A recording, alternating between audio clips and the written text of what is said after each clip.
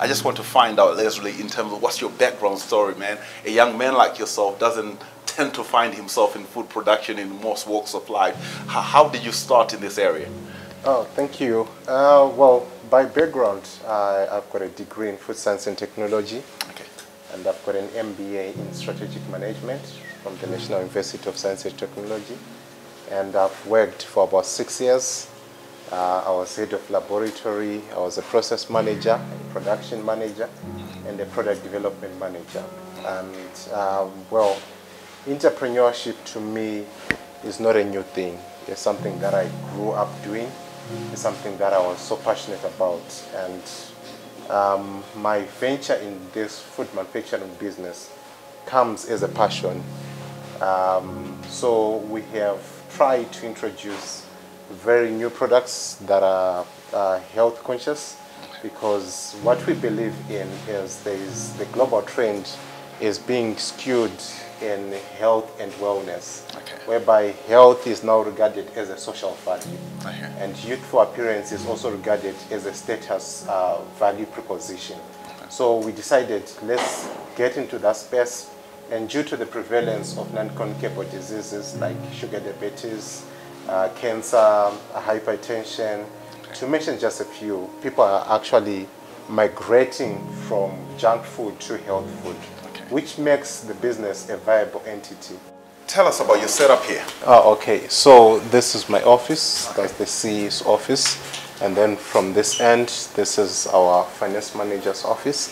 And then from that end, that's our operations manager's office. If you Okay. check our setup, it's an interactive setup. Okay. We believe in sharing ideas. We believe in, in an open space kind of working environment. And we have uh, with us uh, small, uh, uh, young, I would say, not small, but young guys who recently graduated from college. Okay. And then we've got uh, our supply chain guy. He's not in, he's running around to get things working. Okay. Our marketing guy has just gone to list some of the products uh, in the main retail uh, shops.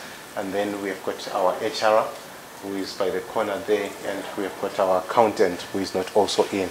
They are all out trying to just make sure things are, are running. Okay. Okay, so I think this is pretty much how our administration is structured.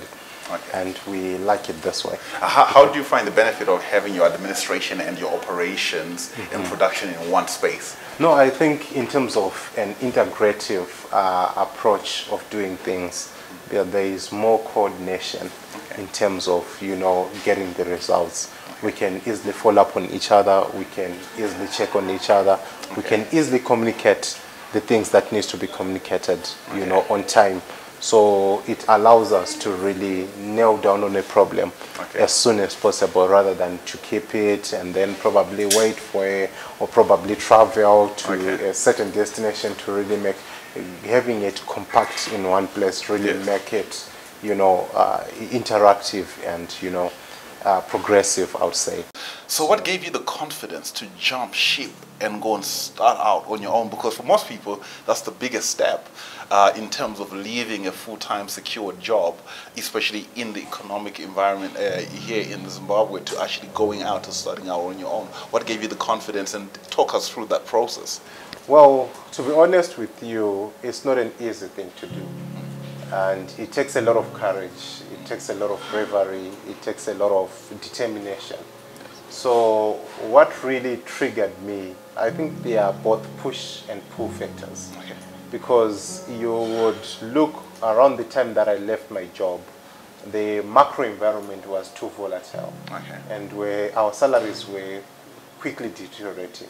Okay. And also, if I also felt that, you know, in a way, people, sugar is now becoming unpopular Okay. with a lot of people. People are now using honey as a substitute. Okay. You know, so I thought maybe it would be a good idea for me to go and look for what people really want. Okay. You know, to really resonate with the desires of the market. You know, so I really wanted a space whereby I can interpret the dynamic customer preferences Okay. and convert them into a product.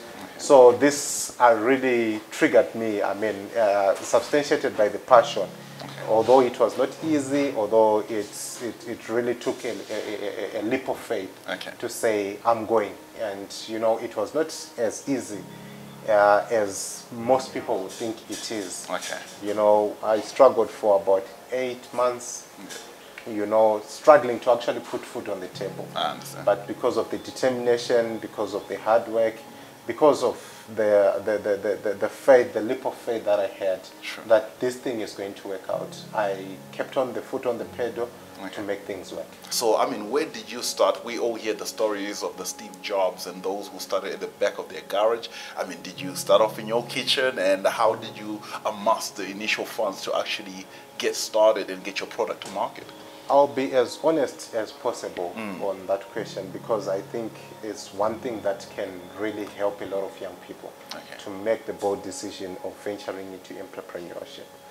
Um, Steve Jobs was actually better than me because he had a garage. Okay. I did not have a garage to start Yeah. with. I was a tenant, Okay. and uh, maybe probably many thanks to my landlord Mm. Who allowed me to use this veranda. Okay. And many thanks to my wife who allowed me to use a kitchen, a small kitchen, Okay. to a, a small cottage kitchen, I would say, Okay. to really come up with these formulations and then start commercializing them.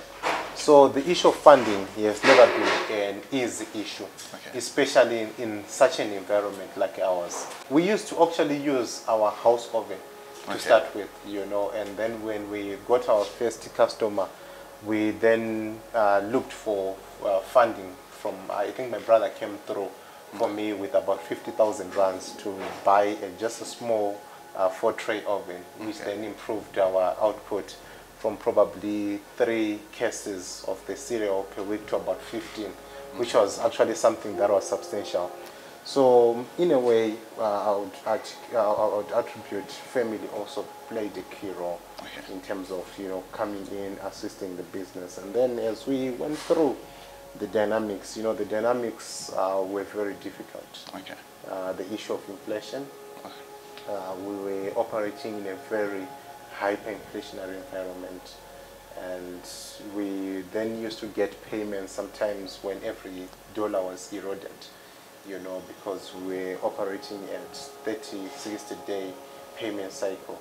And during that period you know whatever that money that you have ingest, in, in- invested in the business is all gone away. The moment you receive your payment from the supplier there's nothing. So we, we, we, we saw a lot of, you know, harsh uh, turbulences from the microenvironment. But however, I think from where I sit and the team that I had, we, we just told ourselves we need to soldier on, we need to manage the dynamics. So we, we really had uh, very difficult hard times uh, due to the microenvironment, due to competition, due to issues of economies of scale, due to issues of pricing, uh, quality also, you know, when you start, the issues to do with quality, they are very key. But what we told ourselves is uh, there is no going back, gentlemen. There is no, uh, we, we can't let go. Whatever it is, whatever circumstances, we have to manage and we really um, impacted that across the guys that because I think our team was by then was pretty much small. Now we are 40, but by then we were still around 10, 12. Yeah, so we really then carried the right attitude. The right attitude was then cascaded to the guys that were there, and probably some of the guys you had to ship out because there was no alignment. And those who were aligned to what we wanted to do, Sure. we stood together and we stood going strong. So yeah, I would say yeah, um, things have not been very rosy, but I can also assure you that um, as you can see, um, I, I got the uh, second runner-up of the Business of the Year at national award level, which is a, Oh, a- a- a- congratulations. yeah, yeah, yeah, which is a big sign that um, we, we are trying our best. We are trying our best. And the issue of funding um, he has not been a very good issue to talk about. Okay. Why? Because I think the biggest problem that we have, small guys like us normally attract small micro uh, finance, uh, and the interest rate normally at microfinance level is about 15 to 17 percent. per month, yeah, which is very high. Uh, but we, because we are left with no option, we have to go that route. Okay. And normally, most of the business, that's where they fail. Because what then happens is probably they fail to make the repayments. Why? Because the interest rates are just too high. Um, with the normal banking system, I think the biggest issue that I've seen over my working experience is the issue of uh, collateral. Because from young people, definitely at, for, from a 25-year-old entrepreneur, or even a 31-year-old entrepreneur, you wouldn't expect much collateral from that person because probably someone who is just pro probably coming from college after graduating and he doesn't own a house. So the banking institutions don't really, uh, are not assisting in a way, yeah, especially when you don't have the collateral to substantiate the, the, the, the your request. Um, even if the business is a going concern, even if they are confirmed orders, I think there is a gap that comes. I think uh, my, my conviction now is you can't make it without collateral. You can't get finance without collateral. And I think it's something that really has to uh, get into the attention of the government and all relevant stakeholders to say, no, no, no. Um, we don't all come from stable backgrounds where parents have houses or where you can quickly get a house, but you might have a viable business. Yes. Why don't the government or the, the financial institution hedge the business? Because it's a business on its own, it's a legal entity, it's a going concern. It has got assets, it has got, I mean, immovable, movable properties. They can use that to probably get their securities, you know. I think that's one area that really needs improvement, especially when it comes to Zimbabwean uh, banking institutions or the business in Zimbabwe. So, because, I mean, from where I sit, I can assure you that our products now have got a regional reach. You know, there's now product acceptance in the region. Um, and even in the local market. But as we speak, we're actually struggling with really capacitating the business to where it's supposed to be. Uh, currently, our output is at 25% vis-a-vis the demands of the market. And that is a problem on, the, on its own because at 25% really, there is a lot of risk that are associated with operating at that level.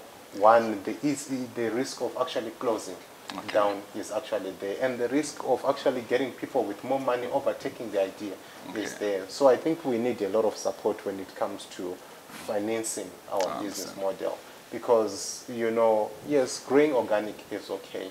But to some extent, like the stage at which I am now, mm. I have the market, I have the product, I have the range. But what is now the missing link is the capacity to substantiate the requirements of the market. So, I mean, let's talk about uh, the, the products that you have. I can see you've got a great number of, uh, of items in front of us. Just talk us through, in terms of your product range, what you currently have, what is the most popular items and the high demand. Uh, and then we can also maybe go into who are your customers and the reach that you currently have. Okay, so I think um, we we our, our, our, our, range is now not very big, but now okay. I, I would say we've got what we call granola cereals. Uh, granola cereals they come in three different flavors. There's this one, the original. There's this one, the fruity one, and there's this one, the honey one. If you look at how we have structured them, you will see that the fruity one, you have got uh, fruits in them. Uh, and it is made of rolled oats, uh, sunflower seeds, pumpkin seeds, flax seeds, all the healthy seeds are in that formulation and it tastes very well. And then this, the honey one, we also take care of the people that no longer want to use sugar in their formulations. So we have used pure honey on this one. And this one is very popular with people, uh, diabetic people, people with, uh, you know, underlying uh, uh, um, um, uh, diseases, I would say. Um, and we have the, uh, the Otis. I think this one is a new formulation. We recently launched it, um, I think two, three months ago. But now this is like the most popular of all the products that we have. Uh, because I think this one is because it has pumpkin seed, They are cookies, but they are we call them oats because they have got high fiber, Okay. and they have got uh, nuts in them. And this one we've got pumpkin seeds in them, and this one we call it the original. I think what makes them unique is there is very low sugar in them. Okay. There is very low sugar, and then uh, as we speak today, we have actually commercialized the dried fruits, the raisins, and we have also commercialized the rolled oats. So these are some of the products. I think what we have, we, we can proud our business on is the continuous uh, development aspect. You know, we, we don't settle for less. Okay. We always keep pushing ourselves to really get things uh, going and for us to be competitive. And I think we also have pure honey, uh, pure honey which is bottled in two different ways, the, for the upmarket and for the mass market. So the range, the reason why we are growing our range is pretty much I would call ourselves offenders. Okay. Why? Because the cereal category, as we traditionally know, is a category that is saturated by big brands. You know, you have got your Kellogg's there, you've got your Nestle there, you've got your Bokomo there. You know, very big brands, massive brands in there. So we go there, we offend. Okay. We, we, we offend through the way, if you check on our packaging, we also want to leverage a, a, a, a height higher than what is in, existence. And also our pricing, we make sure it's lower. So we are offering high quality at low cost. And if you look at, you know, the Otis, the Otis range, they are also very big guys in the uh, confectionery industry. But we also get in there, we offend using the same using the same uh, uh, uh, principle. And if you look at you know business around Southern Africa, there is a bit of monopoly Okay. around the FMCG. Uh, only a few people know about it, but it's in existence. If you look at the Zimbabwean system, it's well saturated by Innscor. Innscor is everywhere. If you go to Zambia, Trade Kings is everywhere. The same South Africa, there's a big guy who is also everywhere. So this is like the nature of how things are structured in Southern Africa, which then leaves us, the black small entrepreneurs, with very little uh, uh, uh, space to compete on. So the best way to do it is then go in if it is importation because some most of the products in here are imported products. Yes. We, we go on an import substitution drive. Okay. You go on an offensive drive on each and every category so that you get if you are getting 0.5% of the market share there, you get 1%. At the end of the day, you become you have the muscle that you require and then compete head to head with this big guy. So it's all about playing around strategies Okay. and probably trying to find a way of, you know, surviving. So, um, I mean, tell us in terms of how much of an how much output you have out there in the market in terms of uh, tonnage per month or, or, or per year. Okay, so this is what is on the ground. Um, what we do uh, pretty much is around 24 tons. Okay. Yeah, in a month, combined, all lines combined. Okay. So this is what needs to go to the market today. So this is where we place all the orders that needs to go to the market. So we have got a very huge customer base. Uh, we service food lovers markets. Uh, we service OKs. We do Spars. We do TM Pick and Pays. We do Fazak. We do greens. We do N Richards. You know, so our customer base is very big. Okay. But uh, in terms of what the market requires from us, like I told you, Yes. we are just doing 25% of what's required by the market. understand. Yeah. So this is probably, we, we're trying to rectify it. We are trying to run around to see, make sure everything really gets fixed. So as we speak, we have got equipment that is being fabricated Okay. to really step up in terms of production, to really step up in terms of operations, to really get the output there so that we meet the demand that we have created in the market. Okay, great. So what about in terms of export market? You talked about a lot of uh, the local players that you are supplying to. Yes, Uh, how are you managing to reach into the export market? Export market, as we speak, we have got a confirmed order to Zambia Okay. of our cereal of about 30 tons. Okay. And we actually, the reason why we are beefing up our equipment is also to try and start servicing the export market. Because actually, that's where I would feel that's where most of our potential is because of the liquidity of the market, because of the disposable income of the of the uh, customer base, Sure. and because of you know they are not depressed economy like us. Okay. So they appreciate more of our products than in our own, own country. So export is really big for us. It's really something that we are working on. It's something that we really want to uh, uh, uh venture into, and we have also we have already uh, uh, received a confirmed order. So let's finish up and talk about the future. What does the future hold for this company? What is the big dream and the big goal that you have and that you're chasing?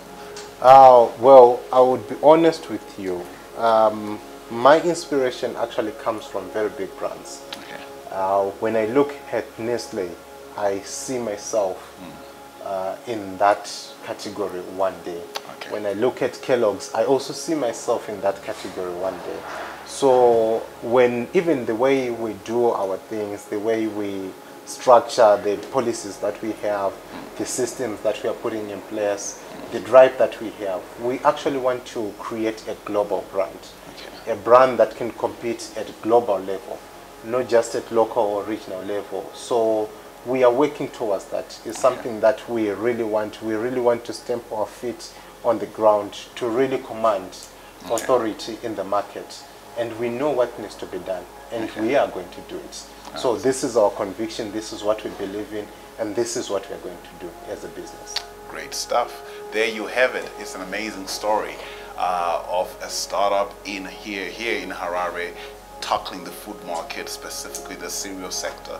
And I'm really inspired by the product range and the development and progress they've made in spite of all the challenges. So it shows you that if you have the right mindset and you have the right product, anything is possible. Thank you very much for talking to me today, and I'm looking forward to hearing more of your growth and your development. Thank you so much. Okay, great stuff.